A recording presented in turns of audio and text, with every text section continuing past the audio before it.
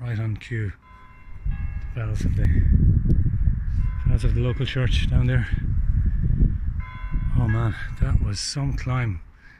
Climbed up, cycled up and walked up to uh, Schloss Wikon. Um, that's Marienburg and Schloss Wikon is kind of in behind it. You can't really see it. There's sort of a red tiled roof in back behind. That's the old castle Schloss Wikon, um, where the Ukrainian refugees are, are, housed at the moment. There's about 80 or 90 of them, something like that. Uh, so down there you have Brittnau, and further down you have Zofingen and Oftringen, and Aarburg would be kind of behind the hills there. Um, you have a big, uh, oh god, you have a few Milans there, or Milans, which are kites. So you see a few kites there, it's pretty cool.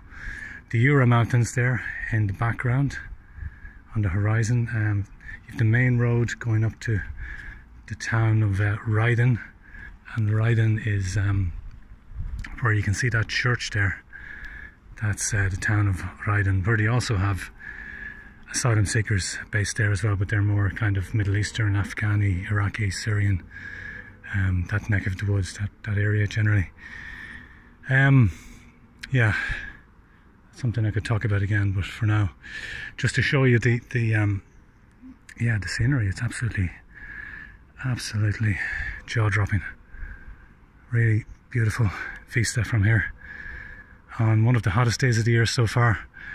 That uh, tower you see in the middle there, that is from from the train station to Wikon, Wikon, uh, Brittnau Wikon uh, train station.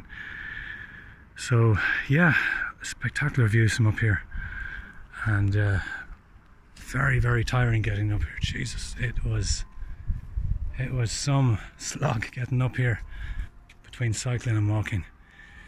I won't be doing it again in a hurry, no matter with the, these kind of views. So there we go. That's all for now, folks.